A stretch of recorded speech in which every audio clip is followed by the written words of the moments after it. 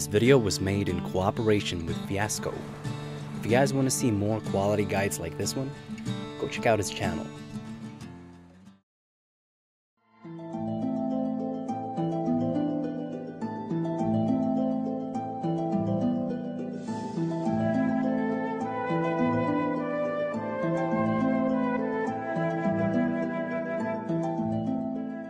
Before I get into the applications, there are four ways to perform this. The first one is no charge. Second is charge bite. Third is full charge. And the fourth is charge shot.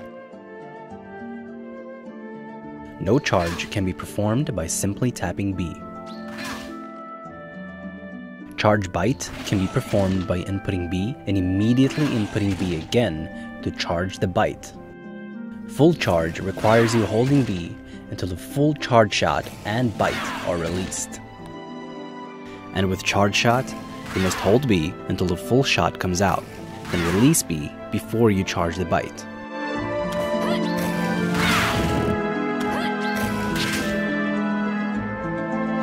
As you charge the shot, the damage, hit stun, and knockback will increase. This also applies for charging the bite, the longer you charge, the more damage and knockback it will have. At mid percentage, fast fall forward air to full hop dragon fang shot is a true kill combo. Although for some reason, the counter does not recognize the last hit as a true combo. This is just a bug really, because there is no way for the opponent to escape the last hit. Anyways, while performing this combo, notice how if you charge the bite fully, it won't hit the opponent. However, if you charge the bite halfway, the last hit will connect and still kill. Also note that mashing does not affect the stun duration. Dragon Fang Shot is also amazing against opponents that are hanging on the ledge. If you stand this distance away from the ledge, you can cover all the ledge options. Regular get up, attack, roll, and jump. And even if they try to jump earlier, they'll get hit by the shot. The only way to really avoid this is by hanging and then punishing. Although, remember that after the shot, Corrin can still charge the bite and punish your attempt on punishing. So try to react on whether Corrin is charging her bite or not. At 0% from a distance, there are no real follow-ups. Although if you are close enough and you hit a charge shot, you can combo into a dash attack.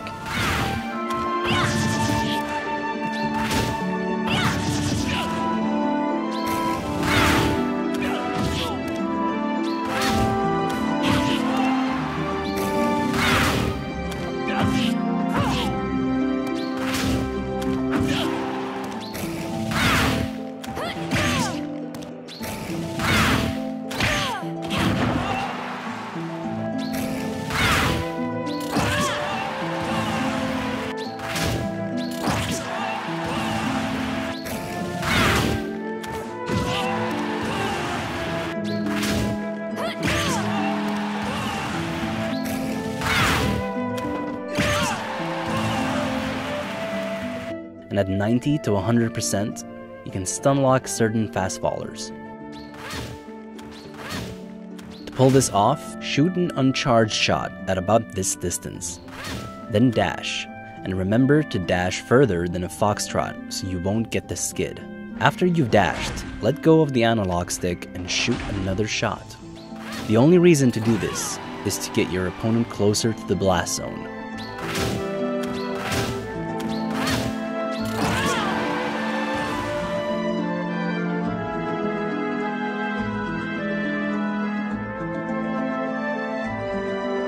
The Dragon Lunge is an interesting mechanic. It has long range, able to pin to the ground, walls, any platform, and pins opponent within range. There are two parts to the Dragon Lunge. One is the hop, and the other is lands. Once you land a Dragon Lunge, there are four different options. Front kick, back kick, jump, and cancel. To activate the front kick, you can use A, B, the stick in any direction, or the analog stick forward. For the back kick, you can only use the analog stick in the opposite direction. For jump, you can either use your jump button or the analog stick upwards. And for the cancel, you simply have to wait about 2 seconds. You can go into a Dragon Lunge immediately by canceling Corrin's hop animation. This is one of Corrin's best tech and is called Instant Pin.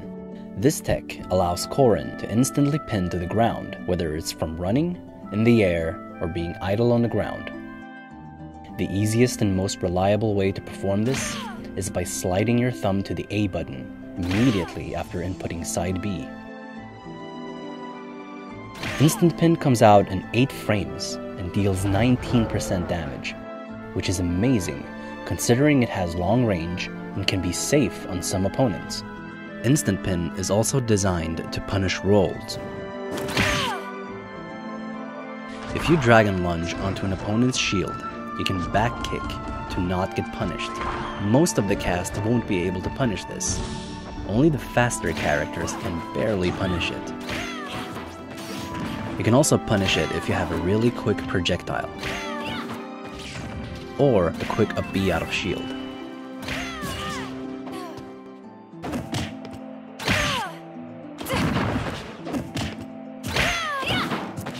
You can mash out of Dragon Lunge, which makes cancel and jump punishable, so I recommend instantly going for a kick. Dragon Lunge is really good at punishing the opponent's recovery, as well as tether recoveries. And if you have good timing, you can even punish the two frames of vulnerability.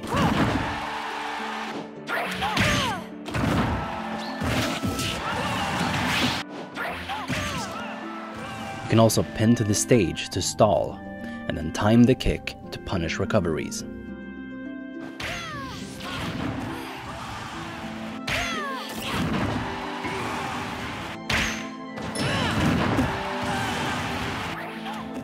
If you miss punishing the recovery, you can try punishing the different ledge options regular get up, attack, roll, or jump.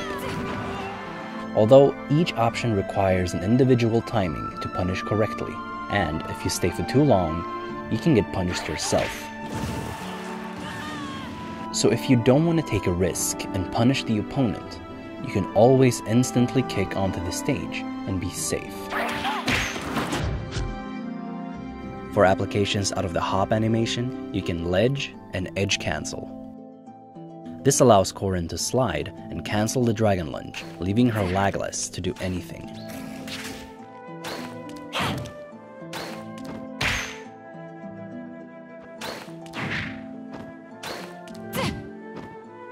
And if you don't slide off, you'll end up with a landing lag. You can also use the hop animation to catch the ledge. You can also Dragon Lunge to the top of a platform underneath from a full hop for safe spacing or as a mix-up.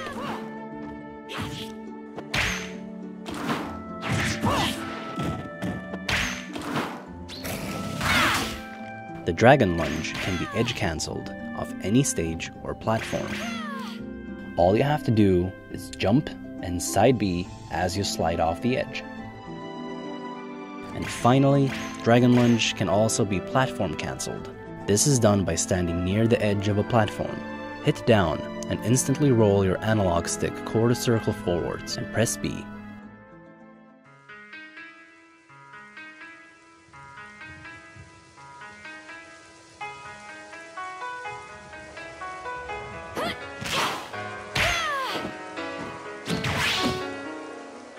When Corrin charges her forward smash, her sword becomes an active hitbox. It can be charged up to 12 hits and finish off with a forward smash. If Corrin decides to stop charging and unleash her forward smash, the opponent will have 4 frames where he can act. At the 5th frame, the forward smash hitbox comes out. This means that you can air dodge the last hit. Although for it to be successful, you need to SDI upwards and air dodge. Just to clarify, SDI means smash DI, and it helps you get out of attacks with multiple hits. You can SDI by either tapping the analog stick or by rubbing it. If you don't SDI upwards, you will be too close to the ground, and air dodging will be pointless, since you will land too soon and still get hit by the forward smash. If you are really good at SDIing out, you can even jump out of it, no matter when Corrin unleashes the forward smash.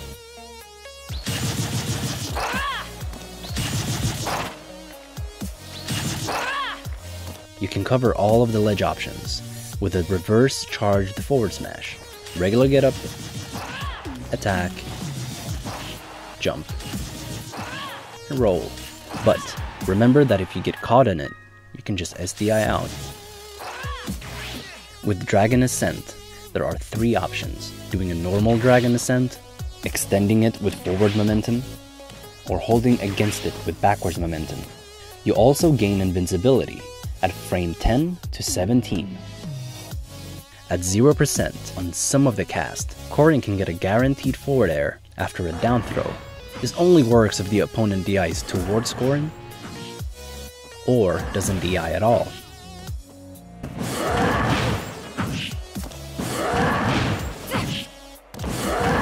If you DI away, Corrin won't be able to follow up. And other than that, Corrin doesn't really have anything out of her grabs. Down throw and up throw can kill, although up throw kills a little bit earlier.